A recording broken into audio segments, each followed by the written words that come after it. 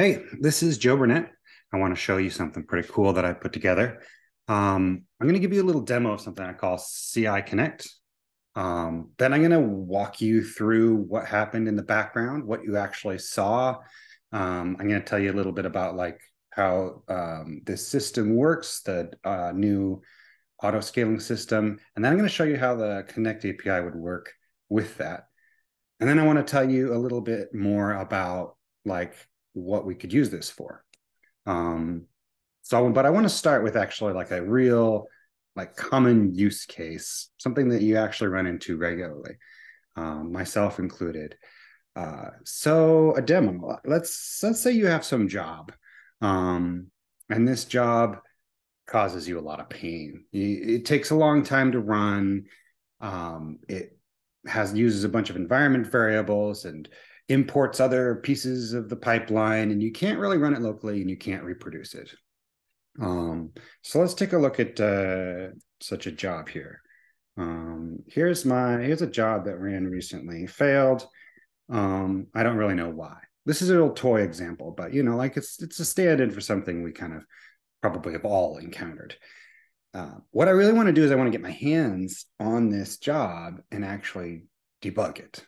You know, Ideally, I'd like to be able to do it locally, but I can't do that right now. So I'd like to be able to get into the wherever this job was running and put my hands on it. So let's kick off another version of this job and see if we can do this. So glab, um, CI run, and I'm going to run this job. Okay, start a pipeline just has one job. So I'm going to take a look at the status here. Um, so here it is. Here's a new job. I'm going to copy that job ID here. Let's trail tail the the logs. So what I'm going to do is I'm actually going to get into this VM so that I can play around in the environment while uh, the job is running. This is not actually something new. This is something you can do with the um, runner console in the UI. But what I'm showing you is slightly different, and I'll tell you more about in the in the background section. All right, so we're we're starting this um, instance executor now. If you've been following along with the new auto scaling um, work we've been doing, the instance auto scaler and the Docker, the instance executor and the Docker auto scaler executor are part of our replacement for Docker machine. So we've been working on uh, pulling auto scaling out of Docker, the Docker uh, machine runner, and um, making it available for all um, all executors. And um, there's some interesting things that we can do with this. So here's here's our job. It's running. Um, let's get in there. So glab ci connect, and I'm going to give it our job ID. So notice I'm doing this from the command line, not from the UI. Um, that's kind of important. So here I am. I'm in my build. Let's take a look what's here. Let's look at this script. So this is where I do some some debugging, you know, whatever it is that you need to do. I'm actually here in this environment. It's looking for a, a file called yes. So let's make a file called let yes. See if that fixes it. Obviously, it's not going to be that easy, but you know, like the point is, is you want to, you to hold on to this machine going to get your hands in there, maybe rerun the thing a couple times, step through it, whatever you need to do to, to debug it. So I made this file. Let's see if this fixes it. Oh, look, super duper. Says, I'm okay. It's done. Job succeeded this time. And it's kind of waiting for me. This is good too, because maybe maybe I didn't fix it. Maybe it, you know, caused it to fail in some other way, or the job just timed out. But I want to I want to hold on to it. So I could continue, you know, reading logs, um, looking at the artifacts here, trying to figure out what's going on. Is it a networking issue, etc. When I when I'm done, I just you know disconnect as usual, and then um, job succeeded, and that VM will go away. So that's that's the idea. I, I put this thing together in like a day, so there's you know some janky pieces about it, but um, I want to show you a little bit about what is actually going on in the background. So here, the easiest thing to do is just to draw it. So um, here we have you. use a smaller pen here. You want to run a job, so you talk to GitLab. Now, this could be like you pushing some code, kicking off a job like I did, or a pipeline, whatever it is that you do to, to run a job. Then um, runner is down here. Runner is actively polling GitLab for work. Um, and when it gets a job, um, it's going to run it somewhere with Docker executor, it would make a VM through that. Sorry, with the Docker machine, it would make a VM somewhere and run it remotely. With the new auto scaling system, it actually has this library called Task Scaler. And that's the auto scaler that we're going to use for everything. And it uses a plugin system. And so there's this fleeting plugin that knows how to talk to um, of a that knows how to talk to a specific provider. In this case, I'm using GCP. So here's the this is one of the benefits of this architecture is um, there's a very generic interface here between Task Scaler and the Fleeting plugins. So you can actually implement any plugin you want for any provider you want. So this together is kind of the runner system in two processes. So the what the what the Fleeting plugin does is it actually creates uh, or uses an instance group.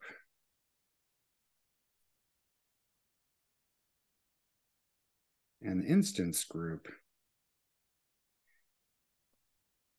creates a bunch of VMs. And these are the ephemeral runner VMs that um, your job actually runs. So your, your job actually runs here.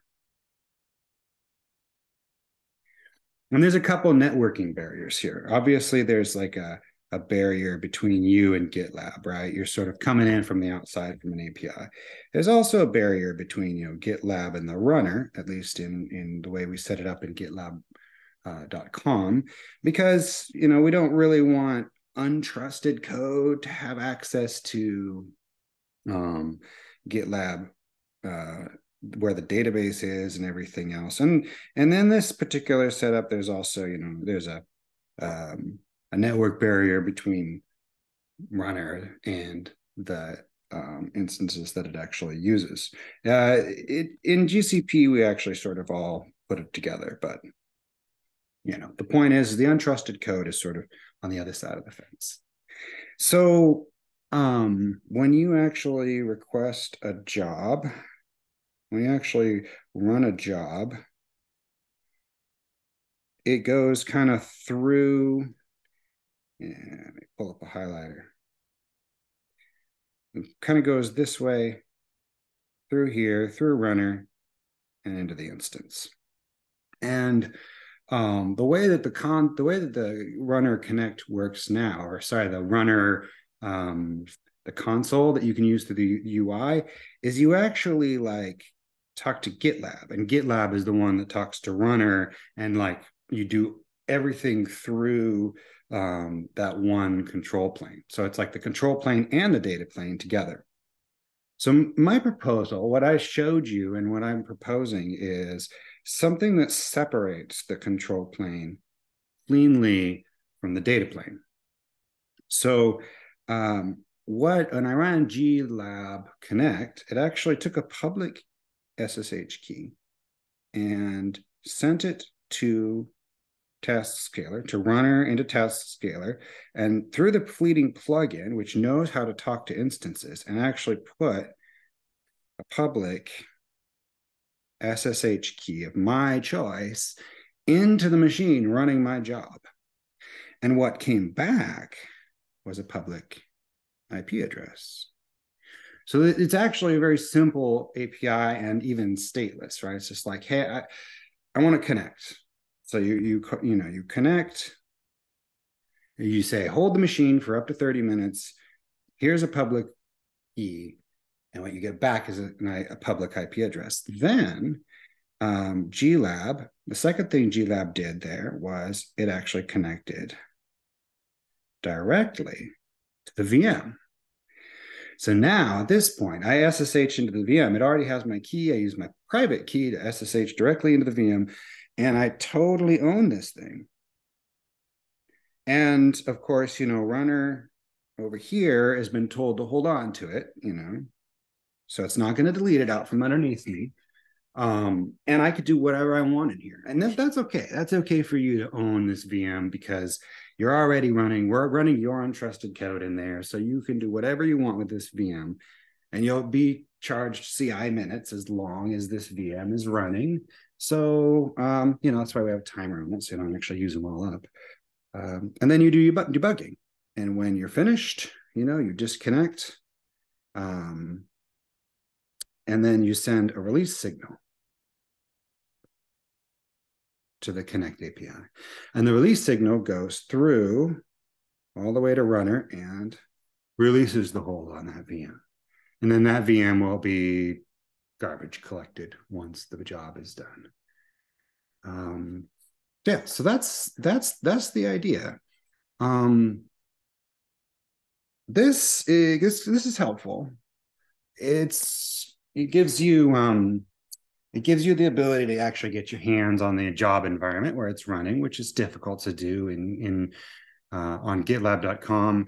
It it it's similar to the uh, to the runner console because you know it lets you get in there, but it's through a API, and um, that means that you can build more automation on top of it like if you just want to if you want to go collect some things from the environment you can have your you know some local automation push a public key in there go do whatever you need to do in that environment and then come back out again. It's actually the same mechanism that um, gitlab runner uses to drive the job itself. We actually ssh in there and run the stuff. Um, it would be even better if you could run the job on your machine so you could actually like use your environment that you're used to and comfortable with um, to run the job. That's a that's more difficult than it sounds, more difficult than it should be, because um, Runner has evolved oh, from a Sidekiq job into this thing, then and it's evolved with a lot of infrastructure, but it's very coupled all the way through GitLab into the runner, into the ephemeral VM. Um, for example, you know, you know, a lot of the pipeline expansion is done in GitLab and only comes to runner as sort of like a concrete, you know, um, job description with a bunch of environment variables and a complete, you know, thing. And runner, so runner doesn't really get a chance to, um, doesn't really get a chance to like get a hold of that. And it also is like a bunch of shell scripts that get wrapped in shell scripts for control purposes. So it's really hard to unpack that and just say, here, run this locally. Um, there's not an API to do it because half of the stuff happens in GitLab, half of the stuff happens in Runner. Um, so ultimately, we'd like to get to a point where we could do that. And there is something um, we internally have been calling Task Runner, uh, and the idea is what should be delivered to runner should be a materialized payload of exactly what to do, all the things you need to do, and it just executes them one by one, even including get, you know, check out all the stuff, all the cat, you know, so you can override it, you can compose it, and it's very prescriptive. That should get injected into the actual environment, and the environment itself should be running that. That way, GitLab runner doesn't have to act as an intermediary for all the logs. They can even go directly back to GitLab. And um, you can also take that list of tasks and you can capture it and you can run it locally and you can rerun it, et cetera, and mess around with it. Because, you know, like it, it's a lot easier to, if you can express, if you have a concrete materialized data transfer object that describes exactly what you're supposed to do at some point in the system. There isn't one right now. And we're working, we're going to work towards that eventually.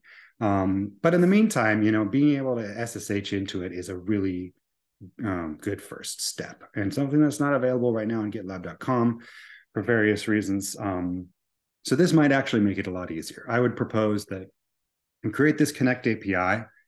Um, oh, by the way, one of the things that I did, I, I cheated a little bit because I put this thing together in a, in in just a day, and and I actually kind of just sent the public IP directly to runner right here um, because uh, I was using production GitLab and I had runner running locally, but really we can figure out we can figure out how to plumb that through. It's stateless. It it just you know we could just maybe hit workhorse and have workhorse forwarded on. We want runner to be able to communicate with GitLab.